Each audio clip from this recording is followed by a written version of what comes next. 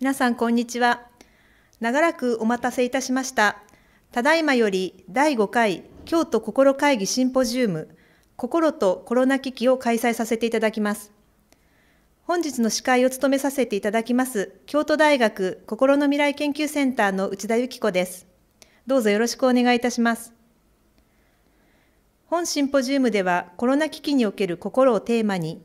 医学仏教学心理学をそれぞれご専門とされる3名の先生方にご講演いただきます。その後、3つの講演を踏まえて、登壇者による総合討論を行い、心とコロナ危機というテーマについて議論を深めていきたいと思います。それでは講演に先立ちまして、京都大学心の未来研究センターセンター長の河合敏夫教授よりご挨拶をさせていただきます。河合センター長、どうぞよろしくお願いいたします。えっと、京都心会議は2015年4月に稲森財団のご支援を受けて発足したものです。これは科学技術の進歩、経済のグローバル化が人類に豊かな生活をもたらしたものの地球環境の変動や経済格差個人のつながりの喪失という問題も生み出し必ずしも人社会地球のウェルビーイングにつながらないという状況を受けたものです。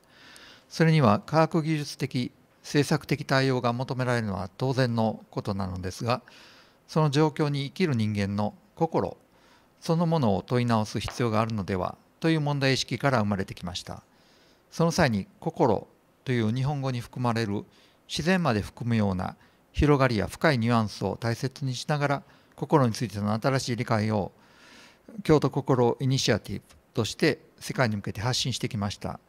2019年度の京都心会議をもとにした「心とアーティフィシャルマインド」は出版されたばかりで京都大学における人社未来系発信のミッションを受けてこれまでの心会議の成果の英語書籍化も進めているところです京都大学心の未来研究センターは人間の心の在り方を総合的に研究する場として2007年4月に設置され心理学神経科学宗教学公共政策学芸術学などの分野の研究者が学際的に協力しつつ今日まで多彩な研究教育社会発信を行ってきました。その意味で京都心会議は当センターにとって中核的なプロジェクトであると言えます。私たちは心を知り未来を考えより良い社会の実現に向けて学際研究に取り組む場であるユニークなセンターの特色を生かしながら今回のシンポジウムをはじめとする京都心会議というプロジェクトに取り組んでまいりました。今年度のテーマは心とコロナ危機です。これまで5回のシンポジウムでは歴史性内と外共生自己アーティフィシャルマインドという切り口から伝統的な心の捉え方と現代における心の在り方が交錯するところを検討してきました。今年度は稲森財団からの6年間のご支援の最終年度を飾る心と限界状況という国際シンポジウムを予定していましたがコロナパンデミックのために残念ながら中止となり来年度に延期となりました。しかしまさに今の危機的状況の心にとっての意味を問う必要があるだろうあるであろうという認識から心とコロナ危機というテーマで例年秋に行っているシンポジウムを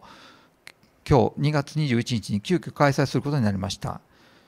この状況下のためにオンライン開催となりましたが幸い500人近い視聴申し込みをいただいています。ご視聴の皆様には日曜日の午後の貴重な時間を割いていただき感謝いたします。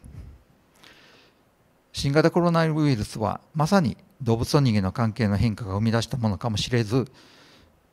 自然との共生やウェルビーイングを考えさせます。またコロナ危機はさらなる経済格差を生み出しています。そして日本でも自殺の増加がコロナ危機と関連するのではないかとされ個人の心に与える影響が注目されています。コロナ危機は心にとってどのような意味があるのかさらには危機から見えてくる心はどのようなものなのかを